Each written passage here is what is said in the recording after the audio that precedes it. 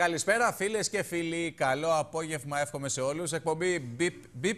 Εδώ πέρα στην διαδικτυακή τηλεόραση της Ζούγκλας, Βασίλης Αριμπαλίδη, στα μικρόφωνα και στις κάμερες, Ανές Κόνια στην κονσόλα του ήχου. Μείνετε συντονισμένοι εδώ στην εκπομπή, γιατί σήμερα έχουμε πολλά έτσι και ενδιαφέροντα θέματα. Πάμε όμως να ξεκινήσουμε με την κίνηση στους δρόμους ε, και την αρχή θα την κάνουμε με την πλατεία Συντάγματος για να δούμε τώρα, λίγο μετά τις 4 τι κίνηση έχει μπροστά από τη Βουλή και γενικότερα στην ε, πλατεία. Όπως μπορείτε και εσείς ε, να δείτε, έχει αρκετή ε, κίνηση. Δεν έχουμε συνηθίσει να βλέπουμε τόσα πολλά οχήματα αυτή την συγκεκριμένη ώρα. Οπότε καλό είναι να το σκεφτείτε λίγο καλύτερα όσοι αποφασίσετε να κατεβείτε στο κέντρο της Αθήνας. Αυτά με την πλατεία συντάγματος. Ανηφορίζουμε λίγο προς τα βόρεια προάστια και συγκεκριμένα στην Ελεοφόρο και Βυσσίας στο ύψος της Φιλοθέης. Ε, για πάμε να δούμε τι γίνεται ε, εκεί πέρα αυτή την ε, ώρα που μιλάμε και θα σας εξηγήσω και με την κάμερα η οποία θα εμφανιστεί προς τα που είναι και η κατεύθυνση των αυτοκινήτων. Να τη ζωντανή εικόνα φίλες και φίλοι. Η αριστερή πλευρά είναι η πλευρά που τα οχήματα κατευθύνονται προς τα βόρεια προάστια, Μαρούσι, Κυφυσιά και ούτω καθεξής. Η δεξιά πλευρά είναι η πλευρά όπου τα οχήματα κατευθύνονται προς την ηλιοφόρο Κατεχάκη, ηλιοφόρο Αλεξάνδρας, το κέντρο της Αθήνας και πάει λέγοντας. Ανηφορίζουμε τώρα ακόμα πιο ψηλά και εδώ που βρίσκονται τα γραφεία της τηλεόρασης της Ζούγκλας στο 17ο χιλιόμετρο Αθηνών Λαμίας. Για να δούμε ακριβώς απ' έξω τι ακριβώς ε, συμβαίνει και ποια είναι η κίνηση των οχημάτων. Ε, μπορείτε να διαπιστώσετε ότι ε, η κίνηση είναι ομαλή, το διαπιστώνετε Άλλωστε, η δεξιά πλευρά για να καταλάβετε τα οχήματα τα οποία φεύγουν από την Αθήνα, η αριστερή πλευρά τα οχήματα τα οποία εισέρχονται στην Αθήνα. Αυτά φίλες και φίλοι και με το 17ο χιλιόμετρο Αθηνών ε, Λαμίας ε, και πάμε λίγο να ξεκινήσουμε με ένα θέμα που αφορά τώρα θα έλεγα τους αγρότες. Δεν νομίζω τους αγρότες, θα σας δείξω κάποια αυτοκίνητα τύπου pick-up, αγροτικά αυτοκίνητα δηλαδή κοινώς, που όταν θα τα δείτε θα πείτε «Ωχ, και εγώ θέλω ένα τέτοιο». Μόνο αγροτικά δεν είναι αυτά τα αμερικάνικα τέρατα της ε, Chevrolet και της ε, GMC, Chevrolet Silverado θα δούμε συγκεκριμένα και το ο GMC το Sierra. Αυτά είναι φίλες και φίλοι αγροτικά οχήματα και ήθελα σήμερα να σας τα δείξω έτσι για να φύγουμε λίγο από την ε, καθημερινότητα,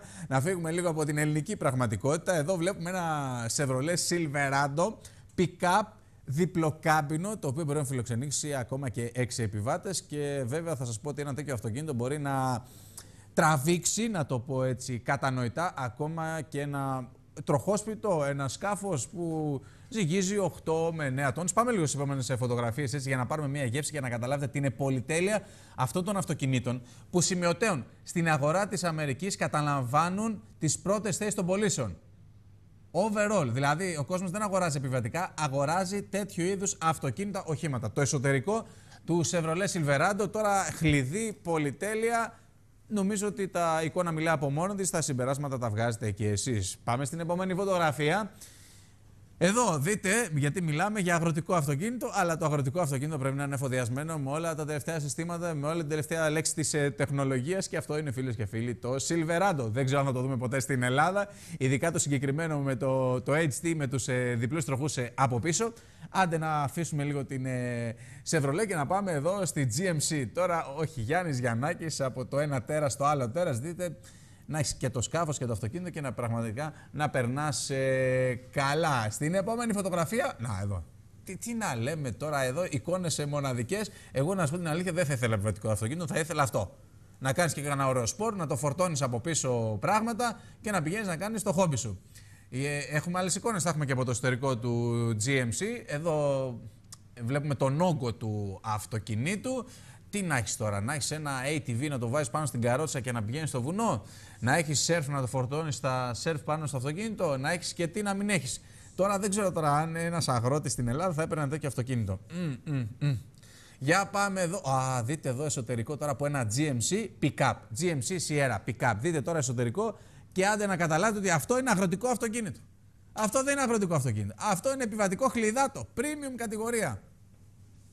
Έχουμε άλλη εικόνα; Δεν έχουμε άλλη εικόνα. Έχουμε; Για να δούμε.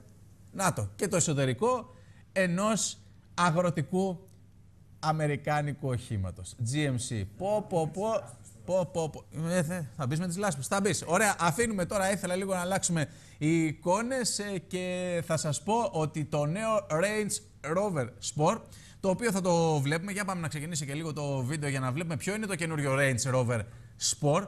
Ένα αυτοκίνητο το οποίο κυκλοφορεί ακόμα και στην Ελλάδα, αλλά υπάρχει ένα μεγάλο πρόβλημα όχι μόνο στη χώρα μας, γενικότερα σε παγκόσμιο επίπεδο. Καταρχήν δείτε εδώ γραμμές, δείτε σχεδίαση, σπορ σχεδίαση. Εδώ τώρα το πρόβλημα θα μου πείτε ποιο είναι. Το πρόβλημα φίλες και φίλοι είναι το εξής. Ότι το συγκεκριμένο αυτοκίνητο έχει τόσο μεγάλη ζήτηση σε παγκόσμιο επίπεδο που για να το αποκτήσει κάποιος θα πρέπει να περιμένει από 6 έως 8 μήνες. Ε, από 6 έως 8 μήνες. Τώρα αυτά μας θυμίζουν, μας γυρίζουν χρόνια πίσω και μας θυμίζουν εποχές Volkswagen Golf. Και δείτε εδώ και μιλάμε και για εκτός δρόμου συνθήκες. Πω, πω, πω και τι δεν θα δίνα τώρα να πρέπει και εγώ αυτό το ποτάμι. Πάρα πολύ ωραία πράγματα. Αφήνουμε και την Range Rover και αυτό το καινούργιο το Sport. Υπάρχει και αντιπροσωπεία στην Ελλάδα, αν θέλετε μπορείτε να πάτε το δείτε. Δεν ξέρω αν μπορείτε να το οδηγήσετε, αυτό είναι μια άλλη ιστορία. Και αλλάζουμε εικόνες, πάμε να δούμε μια μίνι ε, ταινιούλα η οποία κατασκεύασε η Nissan και έβαλε να κοντραριστούν τώρα ένα 370Z ε, νίσμο με έναν αθλητή που κάνει base jumping. Άιντε, άιντε τρέλα. Για πάμε να δούμε το σχετικό βίντεο.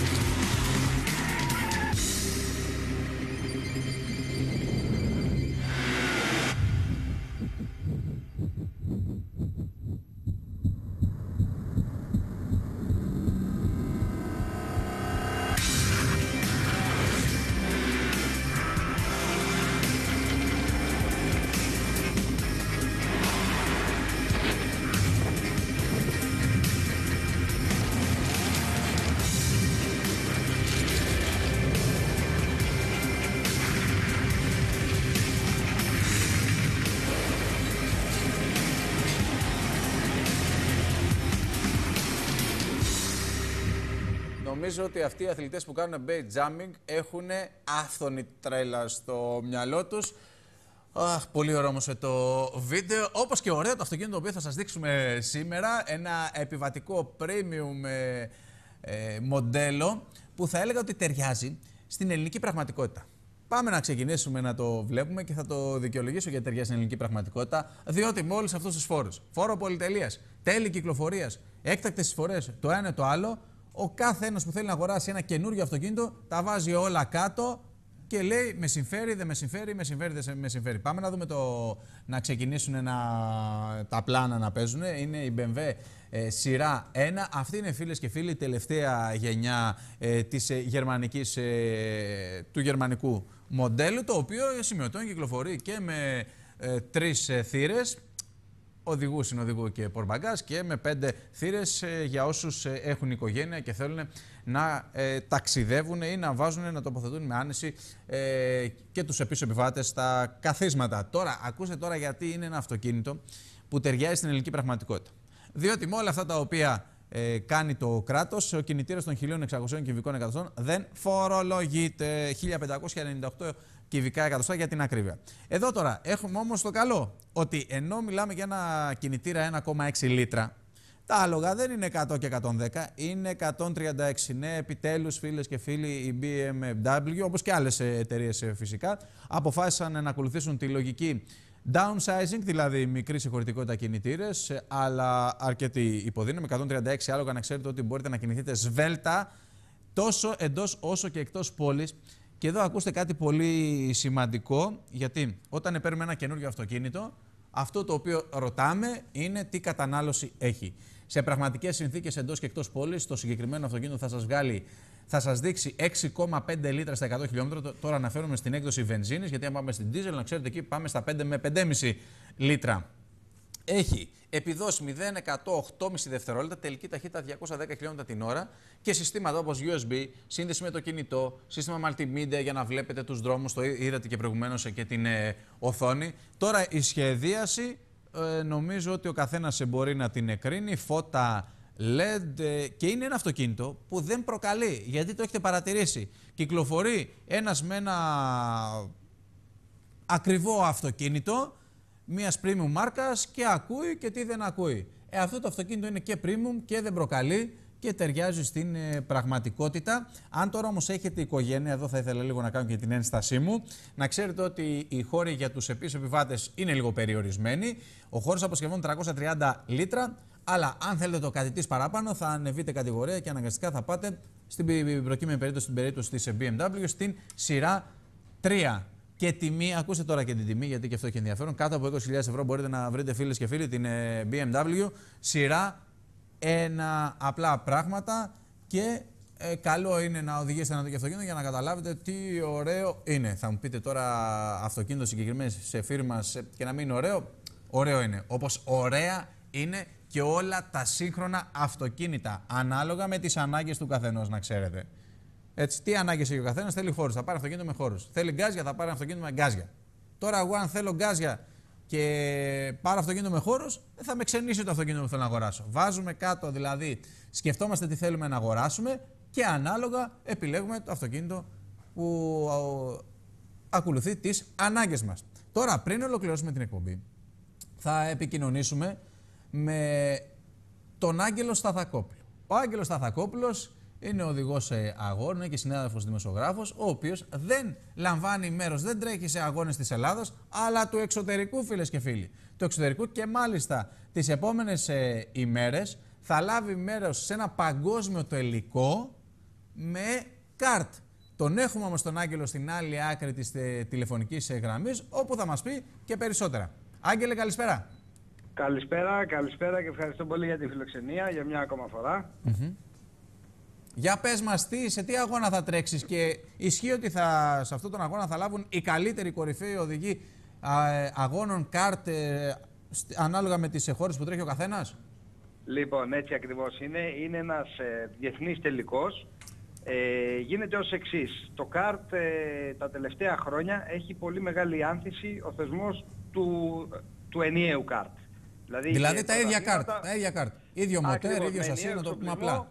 Ακριβώς όλα τα ίδια, δεν, ε, δεν έχεις περιθώριο να επιλέξεις κάτι διαφορετικό, έχεις ίδιος σασί, μοτέρ, λάσκα, καρμπυρατέρ, είναι ακριβώς το ίδιο. Οπότε καταλαβαίνουμε ότι και το κόστος μένει χαμηλά και οι, οι οδηγικές ικανότητες ας πούμε, το πόσο εύκολα θα, και σωστά θα προετοιμαστεί κάποιος οδηγός, παίζει ακόμα μεγαλύτερο ρόλο. Άγγελε, γιατί δεν τρέχεις στην λοιπόν- Ελλάδα και πηγαίνεις τρέχεις στο εξωτερικό και συγκεκριμένα στην Ιταλία; Λοιπόν, τι γίνεται. Ε, εντάξει, είναι αρκετά χρόνια που έχω κάνει αυτή την επιλογή να τρέχω σε αγώνες του εξωτερικού γιατί ο συναγωνισμός είναι πολύ έντονος. Ε, η κατάσταση είναι πολύ σταθερή, δηλαδή οι κανονισμοί είναι σταθεροί. Μπορείς να οργανώσεις ακόμα και το ημερολόγιο, το γνωρίζουμε τώρα στον αγώνα. Το προσεχές Σαββατοκύριακο θα μάθουμε το ημερολόγιο των αγώνων για την επόμενη χρονιά. Οπότε λοιπόν, εσύ κάνεις τη σχεδίασή σου για το 2014. Ακριβώς. Και αυτό με Απλά πράγματα. Πάγεται, που σημαίνει ότι μπορώ να κρατήσω πιο χαμηλά το κόστος μου. Υπάρχει πλαίσιο. Υπάρχει ένα πλαίσιο το οποίο το ακολουθείς. Ε, όχι μόνο εγώ και κυρίως και, ε, και όσοι λαμβάνουν μέρος. Για πες μας τώρα, γιατί δεν έχουμε και πολύ χρόνο στην διάθεσή μας. Ε, Αυτός ο αγώνας λοιπόν. συγκεντρώνει τους καλύτερους οδηγούς. Πες τα μας λίγο αυτά. Α, ε, τι γίνεται τώρα. Αυτός ο, ο αγώνας είναι ο διεθνής τελικός. Δηλαδή σε όποιες χώρες διοργανώνεται αυτό το πρωτάθλημα, που δυστυχώς στην Ελλάδα δεν διοργανώνεται. Σε πόσες χώρες όμως διοργανώνεται, ε, 18 χώρες. Σε 18 χώρες. Από όλες τις υπήρους σχεδόν. Δηλαδή, οι πρωταθλητές από τις 18 χώρες και οι καλύτεροι οδηγοί έχουν ραντεβού συνάντηση. Έχουν διακριθεί. Που... Έτσι ακριβώς. ε, στο Γέζολο της Ιταλίας, είναι σε πίστα έξω από τη Βενετία, γύρω στα, στη μισή ώρα έξω από τη Βενετία. Ε, εκεί θα συναντηθούν λοιπόν οι πρωταθλητές και οι, οι πρωταγωνιστές. Δεν είναι υποχρεωτικό να είναι μόνο οι, οι πρώτοι, μπορεί να είναι και από την τριάδα ή οδηγοί κατόπιν πρόσκλησης. Γιατί Εσύ τώρα συμμετέχουν και άλλοι οδηγοί πού γνωστοί. στοχεύεις, θα πάρουμε κανένα κύπελο, τι βλέπεις; Ε, εντάξει, πάντα πριν τους αγώνες ποτέ δεν θέλω να κάνω τέτοιες σκέψεις. Μμμ. Ε, εγώ όπως πάντοτε θα... Έχεις θα όμως κάνω- πολλές διακρίσεις, έτσι, σε αγώνες τέτοιο επίπεδο έχεις διακρίσεις. Ναι, και σε έναν αγώνα που έκανα ακόμα φέτος, ε, ε, πήρα τη δεύτερη θέση, ήμουν πολύ ευχαριστημένος και πιστεύω ότι και στο, στο διεθνή τελικό θα πάμε καλά. Να, φίλες Ε, και φίλοι, να παρακολούθησα- και ένας Έλληνας που μας κάνει περήφανος στο εξωτερικό, αν και πολλοί δεν γνωρίζουν από το αγωνιστικό καρτ. Καλό είναι να τα μαθαίνετε εδώ από την ε, εκπομπή μας στην ε, διαδικτυακή τηλεόραση της Ζούγκλας. Εσύ τώρα ταξιδεύεις, έχεις φύγει, Άγγελε, έχεις πάει Ιταλία; Εγώ μόλις κλείσουμε το τηλέφωνο πάω στο τσεκίνι να προλάβω το καράβι. Καλό όμως είναι πριν Έχω- ολοκληρώσεις το να μας βλέπω πεις. το Superfast δηλαδή και είμαι έτοιμος Να, να, να, πάω να μπω μέσα. να αναφέρουμε και κάτι σημαντικό, Άγγελε. Πες μας, ποιοι είναι αυτοί οι οποίοι σε στηρίζουν, γιατί τέτοιες προσπάθειες, αν δεν έχεις έναν υποστηρικτή, δεν μπορείς να πας μπροστά και δεν μπορεί τέλος πάντων η ελληνική σημαία να φανεί πάρα, πάρα πολύ ψηλά. Αυτό είναι αλήθεια. Ε, εμένα με στηρίζει καθολικά εδώ και 8 χρόνια η Super Fast Ferries που ενώνει την Ελλάδα με την Ιταλία εξωπλοϊκά και τα τελευταία χρόνια με υποστηρίζει και η Παρολίν η- που είναι η, διοργα... η διοργανώτρια του θεσμού και κατασκευάστρια των ε, κάρτ με τα οποία συμμετέχουν. Ακούσατε, φίλε και Ε, φίλοι. Η διοργανώτρια του φέτος- θεσμού υποστηρίζει έναν Έλληνα. Που εμείς, σαν Έλληνες, δεν έχουμε και οδηγική παιδεία, δεν έχουμε και κανένα μηχανοκίνητο αθλητισμό super duper wow. Έλα όμως που έχουν δει κάτι, έχουν, βρει, έχουν δει το ταλέντο του Άγγελου Σταδακόπουλου και στηρίζουν. Άγγελε, σε ευχαριστούμε πάρα πολύ. Καλή επιτυχία. Ελπίζουμε Θα ήθελα την μόνο να επόμενη πω- εβδομάδα σε βγάλουμε εδώ και πάλι τηλεφωνικά μας πεις ότι κέρδισε την πρώτη θέση. Με Ε, μεγάλη μου χαρά. Θα και ήθελα φι- μόνο να πω Ναι, πες. ότι φέτος εκτός από μένα συμμετέχει ακόμα ένας Έλληνας οδηγός, ο Στράτος ο Γαλανόπουλος στην κατηγορία Academy και φέτος θα συμμετέχει και ο Σταθακόπουλος Junior σε μια επίδειξη με παιδάκια 4, 5, Α, 6 έχεις και- ετών. Πόσο είναι ο γιος σου δηλαδή; Ε, πάει στα 5. Άρα ο Σταδακόπουλος Τζούγκερ, τον βλέπω να περνάει και τον μπαμπά Σταδακόπουλο. Καλή επιτυχία του ευχόμαστε και φυσικά και στον ε, άλλο Έλληνα. Και φίλες και φίλοι, τώρα πάρα πριν πολύ. ολοκληρώσουμε και την εκπομπή, να σας πω ότι βγήκε και η λίστα με τα κορυφαία brand ε, names σε ολόκληρο τον πλανήτη από όλες τις εταιρείες που υπάρχουν και φυσικά μέσα σε αυτές υπάρχουν και πολλές αυτοκινητοβιομηχανίες. Ε, να σας πω έτσι ποιες αυτοκινητοβιομηχανίες είναι. Στην ε, δέκατη θέση βρίσκεται η Toyota, ακολουθεί στην 11η η, η μάρκα Mercedes, το brand name της Mercedes και αμέσως μετά στη 12η θέση το brand name της BMW. Από εκεί και πέρα η Honda ε, βρέθηκε στην 20η θέση της σχετικής ε, λίστας, ακολουθεί η Volkswagen στην 34η θέση. Η Ford και η Hyundai στην 42η και 43η θέση αντίστοιχα. Έχουμε την Audi στην ε, 51η, την ε, Porsche στην 64η και την Nissan στην 65η. Kia και Chevrolet ακολουθούν στην ε, 83η και 81η θέση και έχουμε και την μάρκα φυσικά Ferrari ε, η οποία βρίσκεται στην 98η θέση. Ακούστε τώρα φίλες και φίλοι να σα πω έτσι και πριν ολοκληρώσουμε και ποιες είναι οι τρεις πρώτες, η Apple, η Google και η Coca-Cola. Με αυτά και με αυτά, η εκπομπή όμως σε Beep Beep έφτασε στο τέλος της. Βασίλη Αριμπαλίτη, στα μικρόφωνα και στις κάμερες της τηλεόρασης της Ζούγκλας. Να είστε όλοι καλή, καλά. Παραμείνετε εδώ συντονισμένοι στην τηλεόραση της Ζούγκλας, γιατί ακολουθούν τα αθλητικά νέα με την ε, Κατερίνα Νινιού. Γεια και χαρά.